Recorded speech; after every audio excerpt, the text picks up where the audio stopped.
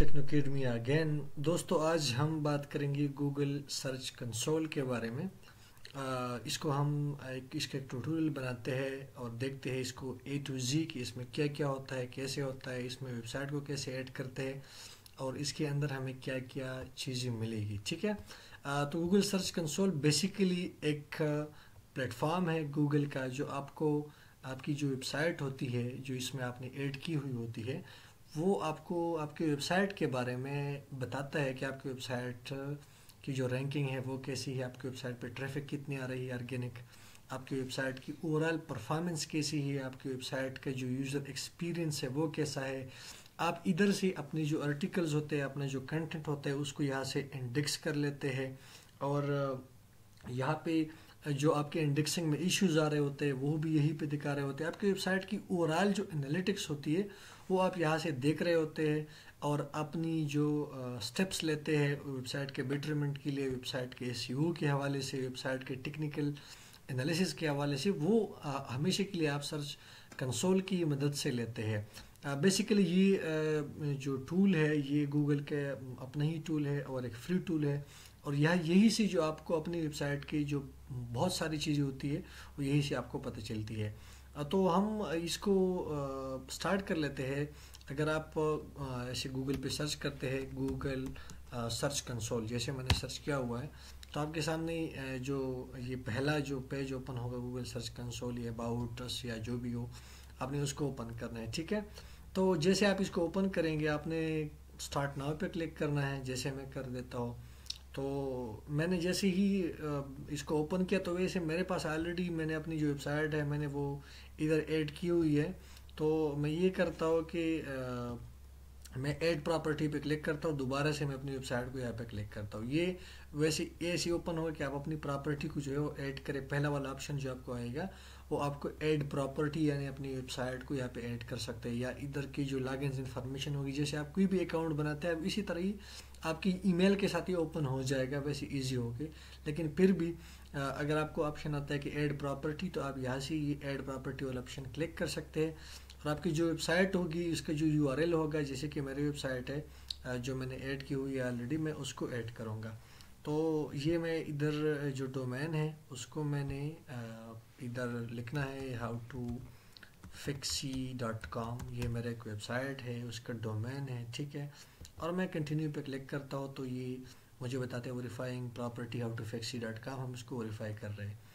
अच्छा तो ये बोलते हैं कि अच्छा आपकी जो वेबसाइट की ओनरशिप है, आपने उसको वेरीफाई करना है और आपने जाना है verified domain ownership via DNS records यानी आपने अपनी जो सर्वर है, उसके रिकॉर्ड से आपने इसको ऐड करना है। दूसरा एक तरीका है इसमें, जब हम ये वेरीफाई लेटर पे मैं क्लिक करता हूँ और दोबारा से जाता हूँ एड प्रॉपर्टी पे तो आ, मैं यहाँ पे यू जो फ्री पैक्सेज है मैं उससे स्टार्ट कर देता हूँ। इधर से हम एक इजी ऑप्शन के थ्रू जो है आ, उसको वेरीफाई कर सकते हैं। How to fixy dot com मैंने लिखा ठीक है? ये मेरे वेबसाइट का जो यूआरएल है वो है ठीक है? और मैंने कंटिन्यू पे क्लिक किया तो ये उसको वेरीफाई कर रहा है। मैं भी ये ये कहे कि ये ऑटोमेटिकली वेरीफाई हो जाए तो ये क्या ऑनरशिप ऑटो वेरीफाइड मतलब ये पहले से ऑलरेडी वेरीफाइड है। लेकिन मैं आपको इसके जो मेथड है वेरीफाई करने का, वो भी मैं बताता हूँ कि इधर ये आपको एक कोड देगा और नीचे लिखा होगा कि जो एच टैग्स है, उसको आपने कॉपी करना है और आपने जाके वेबसाइट की जो हेडर है, उसमें पुट करना है। और जब वो वहाँ पे आप सेव करेंगे तो उधर नीचे ऑप्शन होगा कि वेरीफाई तो जैसे आप वेरीफाई पे क्लिक करेंगे तो आपकी जो ओनरशिप है, वो वेरीफाई हो जाएगी. वो एच टैग्स जो होती है, आपने ये वाला जो ऑप्शन जैसे मैंने सेलेक्ट किया है, आपने उस पर जाना है एच टी टैग वाला ऑप्शन और एच टैग्स को आपने ऐसे सेलेक्ट करके कॉपी करना है, जैसे मैंने सेलेक्ट किया, ठीक है? और ऐसे अपनी वेबसाइट पे जाना है, जैसे ये आपके प्रेस के एक डैशबोर्ड नज़र आएगा. और जब आप इस डैशबोर्ड पे जाएँगे ना तो आपने जाना है अपनी जो अपीयरेंस है इस वाले सेक्शन में। अपीयरेंस में आपने जाना है ये तीन फ़ाइल एडिटर जो लास्ट पे एक ऑप्शन आए, आएगा। अपीयरेंस की जो लास्ट पे ऑप्शन है तीन फ़ाइल एडिटर उस पर क्लिक करना है। जैसे आप इस पर क्लिक करेंगे तो ये थीम फ़ाइल जो एडिटर है ये ओपन हो जाएगी। मतलब कि आपकी जो थीम की फ़ाइल है जो आपकी वेबसाइट की ओवरऑल जो अपियरनेस है उसकी फ़ाइल को आप एडिट कर रहे हैं ठीक है? तो आपने इधर देखना है, ये वाला जो सेक्शन है ना, ये जहाँ पे मैं स्क्रॉलिंग कर रहा हूँ, इस वाले सेक्शन पे आपने हेडर डॉट पीएचपी को देखना है कि header dot P H P कहाँ है, ठीक है? तो ऐसे अगर हम इधर देखें तो ये हमारी जो ओवरऑल साइट की जो style dot C S S है, वो दिखा रहा है। इधर देखें तो मुख्तलिफ़ ये style dot C S S function dot P H P web pack और ये इधर मैं देखता हूँ footer dot P H P ये header dot P H P तो हेडर डॉट पी पे जैसे क्लिक करेंगे ना तो ये वाले जो डायलॉग्स है ये ओपन हो जाएगी ठीक है? अब ये वाली पेज जैसे आपके पास ओपन हो जाएगी ना तो आपने जो आपका कोड होगा वो आपने यहाँ पे जैसे ये मैंने इधर डाला हुआ है ये वाला ये देखिए ये है आ, मैंने जो सर्च कंसोल वाला है टैग ये मैंने ऐड किया हुआ है यहाँ पे। तो इसी तरह आपके पास भी होगा। आपने ये जो हेड का जो सेक्शन है ना, जहाँ से हेड वाला सेक्शन स्टार्ट हो रहा है एच के नीचे, जैसे हेड वाला सेक्शन है ये यहाँ पे तो यही पर आपने उसको पेस्ट करना है सिंपली जैसे पेस्ट करेंगे ना, ये आपको दो हेड्स के ऑप्शन नज़र आएँगे। बॉडी से ऊपर एक हेड है और एक एच के नीचे वाले हेड इन दोनों के बीच में, जैसे आप ये मीटर से स्टार्ट होगा आपका जो कमांड जो भी आपने कोड कॉपी की होगी तो आपने इधर पेस्ट करना है और अपडेट फ़ाइल पे जैसे क्लिक करेंगे, फिर आप यहीं पे जाएँगे तो ऑनरशिप वेरीफाई वाले ऑप्शन पे क्लिक करेंगे तो आपका ऑनरशिप जो है वो वेरीफाई हो जाएगा। आपकी जो ओवरव्यू होगी आपके सर्च कंसोल की वो ऐसे दिखेगी। मतलब ये आपके वेबसाइट का यू दिखेगा, ये उसकी ओवरव्यू मतलब कि आपकी वेबसाइट की ओवरऑल जो व्यू है ना, वो ऐसे दिखेगी कि आपकी वेबसाइट की परफॉर्मेंस कैसी है। मतलब कि जैसे कि ये दिखा रहा तो तीन टोटल वेब सर्च क्लिक्स मतलब कि तीन क्लिक्स है टोटल इस पर ठीक है? और वन जो है नॉन नॉट इंडेक्स्ड पेज है और टू इंडेक्स्ड पेजेज है, ऐसे दिखाएगा, ठीक है? इंडेक्सिंग वीडियो पेज इंडेक्सिंग वाला दिखाएगा एक्सपीरियंस कैसा है यूज़र्स का वो दिखाएगा, ठीक है? हम इसको ना ऐसे वन बाय वन ये जितने भी इधर है टैब्स जो सेक्शंस हैं, हम उसको एक्सप्लोर करते हैं कि बेसिकली होता क्या है। वैसे पहले आप इधर देखें ना inspect any U R L in H T T P S how to fix dot com ये वो वाला, ये वो वाली जगह है जहाँ पे हम इंडेक्सिंग के लिए रिक्वेस्ट करते हैं गूगल को कि हमारे जो पुलान आर्टिकल है जो हमने लिखा है, हम उसको इंडेक्स करना चाहते हैं। तो हम उसका यू आर एल अपने आर्टिकल का यू आर एल कापी करके हम यहीं पे ऐसे पेस्ट कर देते हैं और जैसे पेस्ट करेंगे तो हम इंडेक्सिंग का रिक्वेस्ट उसको भेजते हैं। जैसे कि ये मेरी वेबसाइट है, या अभी भी न्यू वेबसाइट है, वैसे मैंने ट्यूटोरियल के बनाया है कि मैं आपको दिखा दूँ। तो इधर मैं जाता हूँ पोस्ट्स पे और पोस्ट्स पे ये मैंने एक पोस्ट की हुई हुई ठीक है? जैसे मैं इस पर क्लिक करता हूँ व्यू पे तो ये मेरा जो पोस्ट है वो ओपन हो जाता है, ठीक है? अब इसका मैं यू आर एल जो है वो मैं कॉपी करता हूँ और मैं जाता हूँ और सर्च कंसोल में इसको एंटर करता हूँ इंस्पेक्ट यू आर एल के ऊपर। तो जो हमारी जो यूआरएल है इस वेबसाइट के अंदर तो ये हमें उसके बारे में इंफॉर्मेशन देगा। तो ये बोलते हैं कि U R L is on Google के मतलब आपका जो यूआरएल है वो इंडेक्स्ड है, वो गूगल के ऊपर मौजूद है। पेज इंडेक्सिंग तो ये बोलते कि पेज इज़ इंडेक्स्ड मतलब कि आपका जो पेज है वो गूगल के रिकॉर्ड्स पे आ गया है। गूगल ने उसको क्रॉल किया हुआ है, ठीक है? Video page indexing no video index मतलब कि आपकी कोई वीडियो या इंडेक्स नहीं हुई है। HTTPS का मतलब है कि जो मेरी वेबसाइट है, उसका जो डोमेन नेम जो है वो स्टार्ट हो रहा है एच से। गूगल के जो hyper transfer hyper transfer text hyper text transfer protocol होता है उससे। और एस का जो मतलब होता है वो जैसे मैंने पिछली वीडियोस में बताया है कि वो एस एस एल सर्टिफिकेट होता है। तो ये बोलते हैं कि page served over H T T P S और वीडियो जो है एक वैलिड आइटम जो है वो डिटेक्ट हो गया है। ठीक है, ये ऐसी ओवरऑल वो भी इस यूआरएल की दिखा रहा है। अगर नहीं हुआ हो फ़र्ज़ करें यू आर एल इंडेक्स तो इधर ऑप्शन आएगा test live U R L तो इसको आपने करना है टेक्स्ट ऐसे टेस्ट करना है कि चाहे आपकी यू में कोई मसला तो नहीं है। कि आपका यूआरएल लाइव है या नहीं है तो हम इसको यही से चेक कर देते हैं। जैसे हमें अपनी यूआरएल के बारे में इंफॉर्मेशन दे देगा, और फिर अगर वो इंडेक्स नहीं हो तो यही से ये आपको ये सेक्शन रिक्वेस्ट इंडेक्सिंग वाला, ये वाला। तो ये जो रिक्वेस्ट इंडेक्सिंग वाला ऑप्शन है, जब आप इस पर क्लिक करेंगे ना तो यही से आपका जो यूआरएल है, वो इंडेक्सिंग के लिए भेजा जाता है। और गूगल आपको बोलता है कि ये कुछ टाइम लेगा गूगल के क्रॉलर्स को, ताकि आपको यूआरएल को क्रॉल करे, अपने रिपोर्ट्स में ले ले, अपने सर्च इंजन के जो उनके डेटा बेस है, उसके अंदर उसको क्रॉल करे, ठीक है? तो बेसिकली यही से हम अपने यूआरएल को भेजते हैं इंडेक्सिंग के लिए। ये हो गया। ओवरव्यू के बाद है परफॉर्मेंस अब अच्छा परफॉर्मेंस में हमें अपनी जो वेबसाइट है ना, उसको डेट लास्ट थ्री मंथ्स का जो डेटा है हमारी वेबसाइट के बारे में ना एनालिटिक्स ये हमें वो बताता है, ठीक है? हम अगर इसको एडिट करते हैं तो हम लास्ट सेवन डेज़ के भी सिलेक्ट कर सकते हैं। हम मोस्ट रिसेंट डेट का मतलब आज के डेट का डाल सकते हैं, कल का डाल सकते हैं। ऐसे हम अप्लाई करेंगे और ये हमें अपनी वेबसाइट के बारे में जो डेटा है ना, वो बताएगा। तो जैसे लास्ट थ्री मंथ पे था, मैं उसको वैसे लास्ट थ्री मंथ पे रख लेता हूँ। ये बाय डिफ़ॉल्ट ऐसे होता है, ठीक है? कि हम लास्ट थ्री मंथ पे रख लेते हैं। हम अपनी वेबसाइट के जो लास्ट थ्री मंथ के जो डाटा होता है, वो हमें दिखा रहा होता है। इधर ये हमें बताता है कि टोटल जो क्लिक्स है, आपकी वेबसाइट पर कितनी हुई है। मतलब कि जो आपका वेबसाइट जैसे कि मैं ये सर्च करता हूँ how to install J channel ऐसे मैंने सर्च किया। तो फ़र्ज़ करें, ये वाली एक वीडियो सामने आ रही है और फ़र्ज़ करें इधर मेरी वेबसाइट जो हो, वो कहीं पे जो आ रही हो, ठीक है, सर्च में। जैसे कि ये एक वेबसाइट है। तो ये ये बेसिकली होते हैं इम्प्रेशन ये जो मुझे नज़र आ रहे हैं ना, मैं क्लिक नहीं कर रहा हूँ। ये वैसे मुझे नज़र आ रहा है तो ये होते हैं इम्प्रेशन अब अगर मैं इस पर क्लिक कर लेता हूँ ना, इस लिंक पे तो ये होगा क्लिक्स तो मेरे वेबसाइट पे ये दिखा रहे हैं कि आपके वैसे टोटल थ्री जो है क्लिक्स है। मतलब तीन लोगों ने क्लिक किया हुआ है और आपकी जो वेबसाइट पे इम्प्रेशन है मतलब जो ऐसे नज़र आए हैं, ऐसे सर्च में, ठीक है? तो वो आ रहे, आए हैं मतलब चौदह, कुछ चौदह इम्प्रेशन है, चौदह लोगों ने उसको देखा हुआ है, ठीक है?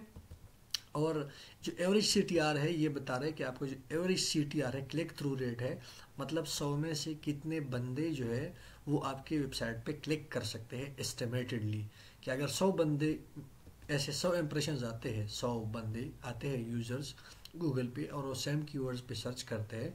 तो सौ में से कितने बंदे जो है वो आपके वेबसाइट पे क्लिक कर सकते हैं या क्लिक कर रहे हैं तो इक्कीस परसेंट लोग जो है वो क्लिक कर रहे हैं। ठीक है? मतलब कि सौ में से इक्कीस बंदे वो क्लिक कर रहे हैं। तो ये एवरेज सी ये होता है, ठीक है?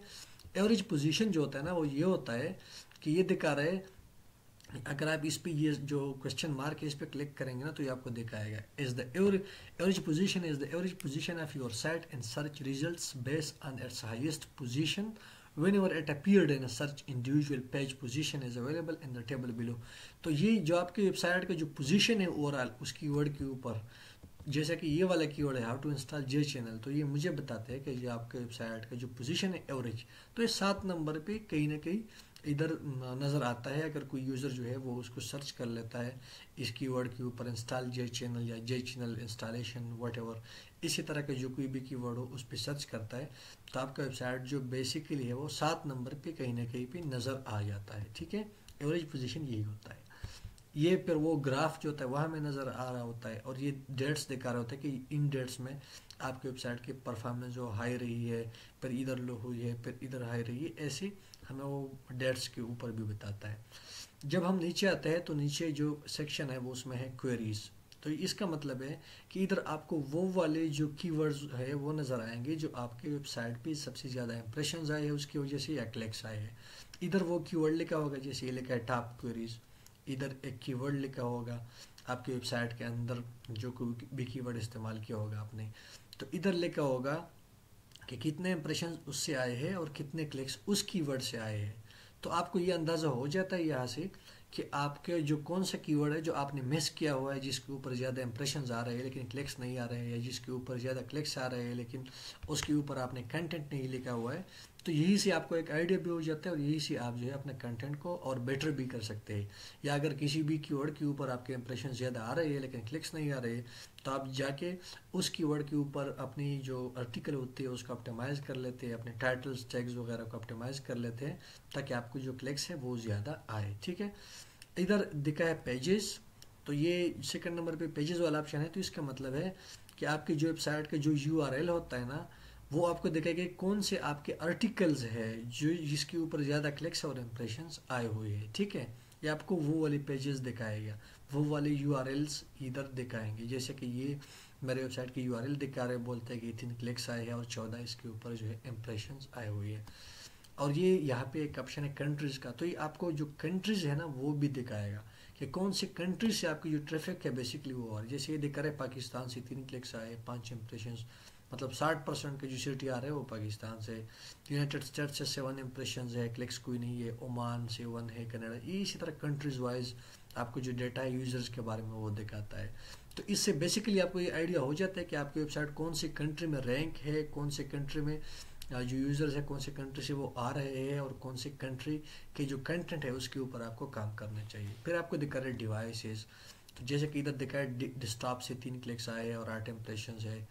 Thirty seven percent C T R है मोबाइल से ज़ीरो क्लिक्स है छः इंप्रेशन है तो इसका मतलब ये होता है कि आप जो वेबसाइट है वो कौन से डिवाइस के ऊपर ज़्यादा लोग मतलब आपके यूज़र्स जो है, आपकी वेबसाइट के जो यूज़र्स है, आपका जो कंटेंट है वो कितने परसेंट के जो यूज़र्स है, वो डेस्कटॉप से है और कितने मोबाइल से तो आपको ये अंदाज़ा हो जाता है कि आप किस किस्म के यूज़र्स के लिए अपना जो कंटेंट है वो लिख रहे हैं। तो आप अपनी वेबसाइट को, अपनी कंटेंट को उन यूज़र्स के हिसाब से अपना स्ट्रक्चर बनाते हैं कि मोबाइल अगर डेस्कटॉप से ज़्यादा आ रहे हैं तो इसका मतलब है कि आपको डेस्कटॉप के जो यूज़र्स है, उनके हिसाब से अपने मोबाइल अपनी जो वेबसाइट है, उसका इंटरफेस और उसका लुक जो है, उस हिसाब से सेट करना है, ताकि आपका जो ट्रैफ़िक है वो ख़राब ना हो। अगर आपको मोबाइल से ज़्यादा आ रहे हैं तो उस हिसाब से आपने ठीक करना है। आपने अपनी वेबसाइट को जो है ऑप्टिमाइज़ करना होता है। अच्छा ये होता है कि आपकी जो यूज़र्स है, वो मोबाइल से ही ज़्यादा आने चाहिए वैसे, क्योंकि जो मोबाइल है, वो ज़्यादा यूज़र्स इस्तेमाल करते हैं इंटरनेट पे। तो ये भी एक साइन होता है कि भाई आपकी जो यूज़र्स है, वो ज़्यादा मोबाइल से ही आनी चाहिए वैसे, ठीक है?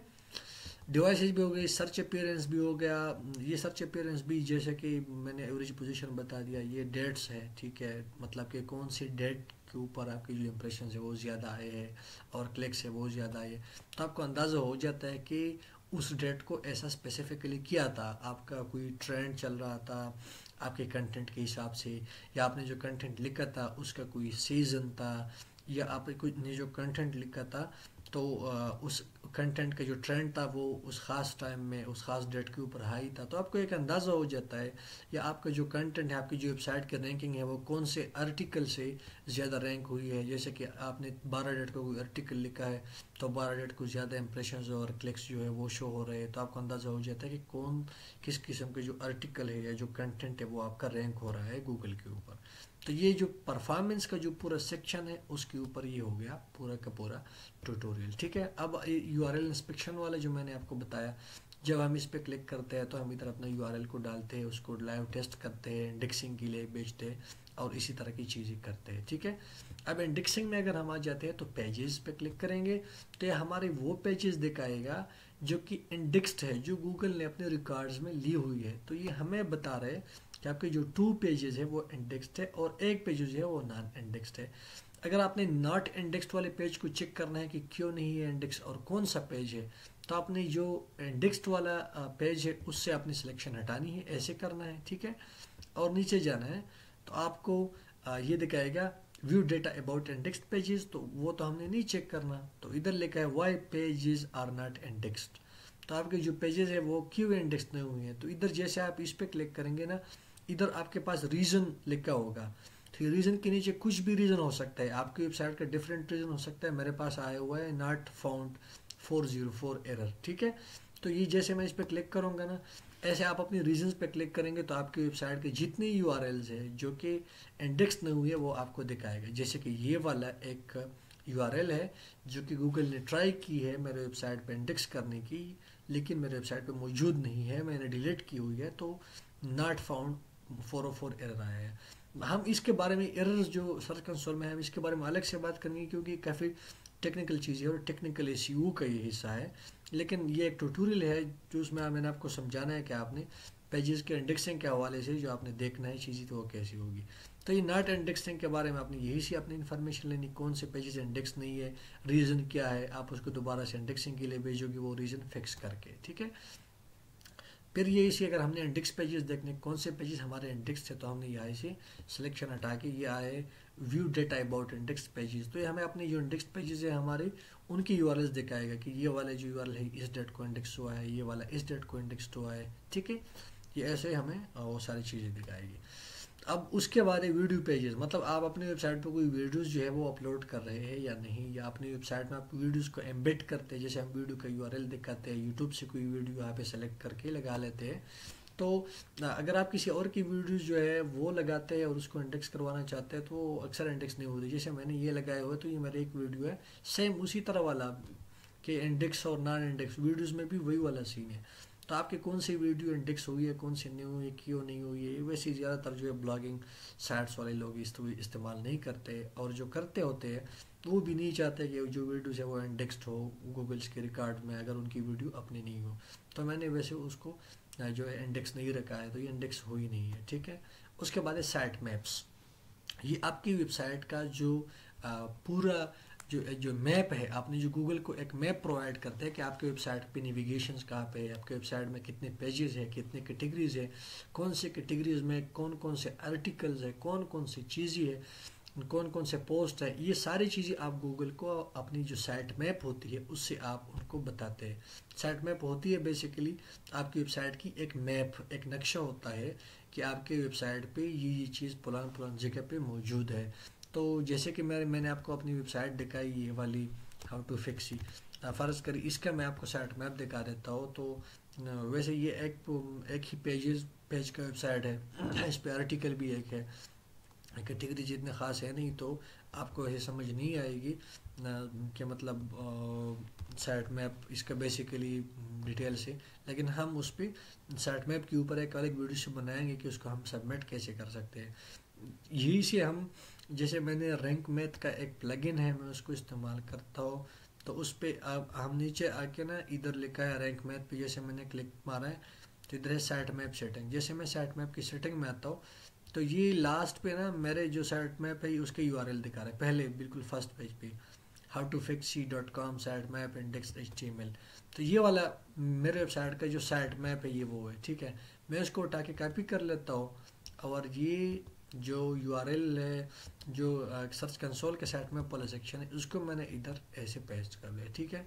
मैं इसको ये सबमिट करूँगा तो हमारे साइट में गूगल को सबमिट हो जाएगी। इसका फ़ायदा ये होता है कि हमने गूगल को एक स्ट्रक्चर दिया, अपने वेबसाइट का एक नक्शा दिया कि ये चीज़ ये ये भी पड़ी है। तो अगर आप ये जो यू आर इंस्पेक्शन है, यही से अगर आप मैनुअल रिक्वेस्ट नहीं करना चाहते तो आप सिर्फ़ अपने जो साइट मैप है, उसको इधर सबमिट करते रहा करें, अपने साइट मैप को अपडेट करते रहा करिए खुद ब खुद आपकी जो कंटेंट है, उसको इंडेक्स करता रहेगा गूगल ठीक है? इसके अलावा है रिमूवल्स जो रिमूवल्स वाला सेक्शन है ना, इसमें अगर फ़र्ज़ करें मेरे वेबसाइट पे कोई ऐसी कंटेंट पड़ी है जिसको मैं नहीं चाहता हूँ कि गूगल उसको क्रॉल करे या गूगल उसको, या मैं चाहता हूँ कि गूगल उसको रिमूव करे। अगर क्रॉल भी की है गूगल ने, उसको अपने डेटा में डेटाबेस में लिया भी हुआ है तो उसको गूगल रिमूव करे। तो मैं रिमूवल में जाता हूँ और यहीं पर जो मैं अपना जो URL होता है, उसको मैं इधर पेस्ट कर देता हूँ इंस्पेक्ट यू पे। और ये टेम्पोरेरी पे मैं न्यू रिक्वेस्ट पे जाता हूँ तो न्यू रिक्वेस्ट पे इधर मुझे बोलता है, अपना यूआरएल जो है वो पेस्ट करे। तो ऐसे मैंने यूआरएल पेस्ट किया। Remove this URL only remove all you with this prefix ठीक है? कि मतलब कि जो ये how to fix dot com की जितने भी यू है, या सबको रिमूव कर दो, या जो सिर्फ़ ये वाला यूआरएल जो मैंने दिया हुआ है, सिर्फ़ उसको रिमूव करो। तो हम जिसको रिमूव करना चाहते हैं, हम बोलेंगे रिमूव दिस यूआरएल ओनली ठीक है? और ये स्पेसिफिकली हम उस केस में करते हैं कि जब हम, हमें कोई स्पैमी बैकलिंक्स जो है, वो आए हुए होते हैं, या हमें कंटेंट जो है, किसी ने हमारे वेबसाइट के ऊपर कमेंट्स की है, उसमें लिंक्स लगाए हैं तो हम वो वाले यू को यहीं पे ला के रिमूव कर सकते हैं गूगल से, अगर वो सर्च कंसोल में उन्होंने की है। हमारे पास ऐड की हुई है, ठीक है?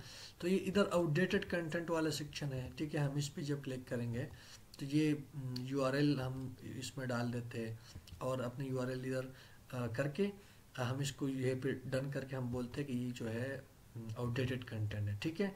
जैसे टेम्प्रेरी रिमूवल न्यू रिक्वेस्ट के ऊपर जाके, और हम मुख्तलिफ़ जो चीज़ें इधर कर सकते हैं, हम अपने कंटेंट को इसे रिमूव कर सकते हैं, ठीक है? और ये फिर आता है एक्सपीरियंस वाला सेक्शन पेज एक्सपीरियंस में ये होता है कि गूगल हमें बताता है कि जो यूज़र्स आते हैं आपके वेबसाइट के, उनका एक्सपीरियंस कैसा है गूगल के साथ? मतलब आपके वेबसाइट के ऊपर उनका एक्सपीरियंस कैसा है? वो क्या कहते हैं? या गूगल उनके एक्सपीरियंस के बारे में क्या कहता है कि उनको जो वेबसाइट है, उनकी स्पीड में कोई मसला आ रहा है? या आपकी वेबसाइट पे जैसे मैंने एच लगाया हुआ है तो ये एच जो एस साथ लगा होता है ना एच का, असल में ये सेफ़ होता है और गूगल इसको लाइक करता है कि आपकी वेबसाइट के साथ। जो लास्ट में एस है एच के साथ वो लाजमी लगाओ। इसके ऊपर हम एक दूसरी वीडियो में कभी बात कर लेंगे। ये कोर वेब वाइटल्स असल में जो साइट है वो न्यू है तो कोई ख़ास डेटा है नहीं, लेकिन अगर आपके पास कभी ओल्ड साइट हो तो उसके ऊपर आप इसका काफ़ी सारा डाटा देख सकते हैं। इधर हमें अपने जो यूज़र्स होता है ना, उसके एक्सपीरियंस के बारे में पता चलता है। कि कितनी चीज़ें इसमें गलत है, कि क्या क्या हमारे वेबसाइट में मसले हैं तो हम उसको रिमूव कर सकते हैं वेबसाइट के मसले इधर फिक्स कर सकते हैं। कोर वेब वाइटल्स पे जैसे हम क्लिक करते हैं ना तो ये हमें बताता है कि मोबाइल के ऊपर आपके वेबसाइट की क्या सिचुएशन है, कैसे जो है यूज़र्स है, उनका एक्सपीरियंस कैसा रहा है डिस्टॉप के ऊपर कैसा रहा है। तो आपको ये अंदाज़ा इधर से हो जाता है कि आपका जो वेबसाइट है, उस पर मोबाइल यूज़र्स को क्या मुश्किल जो है वो सामने आ रहे हैं। या आपके जो डेस्कटॉप के यूज़र्स है, उनको क्या क्या मसले हैं और आपके वेबसाइट कहाँ कहाँ पे लेजी जो है शो हो रही है कहाँ कहाँ पे उसकी स्पीड स्लो है कौन कौन से मसले हैं, सारी चीज़ें इधर आप एक ओपन रिपोर्ट पर क्लिक करेंगे तो आपका एक रिपोर्ट ओपन हो जाएगा। बेसिकली ये वाले जो कोर वेब वाइटर्स होते हैं ये वेबसाइट की स्पीड के हवाले से होते हैं। क्या आपकी वेबसाइट की स्पीड कैसी है? ज़्यादातर जो इसका एक्सपीरियंस यूज़र का एक्सपीरियंस है इस पर मैटर करता है आपकी वेबसाइट की स्पीड वगैरह पर। तो बाकी भी चीज़ें होती है टेक्निकल इश्यू रिलेटेड तो वो हम टेक्निकल इश्यू के अलग से ट्यूटोरियल में हम उसको पढ़ लेंगे। HTTPS जैसे मैंने बताया कि आपके वेबसाइट पे एच लगा हुआ है या नहीं है तो ये बोलता है कि आपके वेबसाइट के दो जो यू है वो एच है मतलब कोई भी यूआरएल हमारा non H T T P U नहीं है। अच्छा फिर आता है enhancement site link search box ठीक है? जैसे कि इधर इन्होंने मुझे दिखाया कि आपने जो वीडियो का एक आइटम का आपने यूआरएल डाला हुआ है तो वो एक वैलिड यूआरएल है मतलब वो वीडियो मौजूद है और अगर यूज़र आ जाते तो उसको देख सकता है। वीडियोस का दोबारा से फिर वही वाला कि ये एक वीडियो है जो कि वैलिड है उसका यूआरएल वगैरह। तो आपको अपनी वीडियोस जो आपने लगाए हुए थे उसका यही से आपको चीज़ अंदाज़ा हो जाता है। सिक्योरिटी एंड मिनवल एक्शंस एक मिनवल एक्शंस और ये ये आपको जब भी इसमें कोई भी मसला होगा ना तो ये आपको इधर से नज़र आ जाएँगे। वो, इधर एक नोटिस आपको नोटिफिकेशन आएँगे और नोटिफिकेशन ये मैसेज वाला जो सेक्शन है ना, इस पर क्लिक करेंगे तो सारे इश्यूज़ वैसे इधर भी पता चलते हैं। यही से आपने मैनुअली इसको बेसिक इसको हम नहीं चलते फ़िलहाल के लिए, क्योंकि ये बिगिनर्स के लिए कुछ ज़्यादा टेक्निकल हो जाएँगी तो हम सीधा जाते हैं, जैसे legacy tools and reports links पे जाते हैं तो लिंक्स वो लिंक्स होते हैं जैसे हमने अपनी वेबसाइट में अंदर कौन कौन से लिंक लगाई है? अगर ये एक्सटर्नल लिंक्स है मतलब हमने अपनी वेबसाइट से कितने लोगों को लिंक्स दी है या कितने लोगों ने हमें लिंक्स दी है, ये एक्सटर्नल लिंक्स बताएँगे। हमारी वेबसाइट से दूसरे साइट को लिंक्स या दूसरे साइट से हमारी वेबसाइट को लिंक्स ये इंटरनल लिंक्स होंगी। मतलब कि आपने अपनी वेबसाइट में कौन कौन से अपने दूसरे आर्टिकल्स को लिंक लगाए हैं? हम वेबसाइट में जाते हैं, एक आर्टिकल लिखते हैं, उसमें दूसरे आर्टिकल का लिंक लगाते हैं। ठीक है, जैसे कि हम यूट्यूब पे मैं एक वीडियो में दूसरे वीडियो का लिंक लगाता हूँ, वैसे हम ब्लॉगिंग में एक आर्टिकल में दूसरे का जो लिंक है, वो भी लगा लेते हैं तो इंटरनल लिंक्स वो होती है। ठीक है? और टॉप लिंकिंग साइट मतलब कौन सी ऐसी वेबसाइट्स है जो कि उनकी लिंक्स ज़्यादा है? तो इधर वो दिखाएगी कि ये साइट ज़्यादा लिंकिंग है। टॉप लिंकिंग टेक्स्ट मतलब कौन सा टेक्स्ट है जो, कौन सा कीवर्ड है ऐसा, या कौन सा जो आर्टिकल है, उसके ऊपर ज़्यादा आपको लिंक्स जो है वो मिले हैं, ठीक है? ये एक बिगिनर्स के लिए एक ट्यूटोरियल है। इसमें आपको कोई भी मसला हो, आपको समझ नहीं आया हो कुछ भी, या आपके जो, ये जो वेरिफिकेशन होती है वेबसाइट के अंदर शिप वेरिफिकेशन नहीं कर सकते तो मुझे कमेंट कीजिएगा, मैं आपको वो करवा दूँगा इजी गया कोई मसला नहीं। इधर से सेटिंग है। और ये सेटिंग जो है, आप देख सकते हैं, ये मैं ओरीफाइड ऑनर हो रिपोर्ट डॉट टेक्सटी फ़ाइल और ये सारी चीज़ें आपको दिखाएगा लेकिन इधर आपको छेड़ने की ज़रूरत नहीं है। आपको बस अपने इधर कुछ भी आपने देखना है टेक्निकली तो अपने वेबसाइट के बारे में देखिए आपको जो कुछ भी समझ में ना आए या इधर से आपको कोई भी मसला है इस ट्यूटोरियल के हवाले से तो मुझे कमेंट बॉक्स में ज़रूर पूछिएगा। उम्मीद है आपको वीडियोज़ पसंद आएगी। मज़ीद वीडियोज़ के लिए हमारे साथ रहिएगा। बहुत शुक्रिया।